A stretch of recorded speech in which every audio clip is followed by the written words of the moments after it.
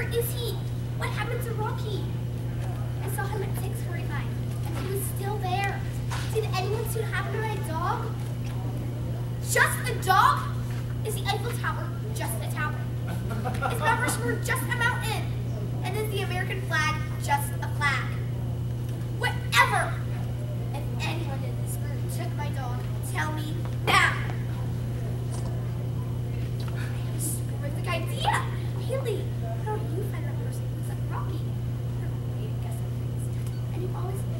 That's Rocky's name.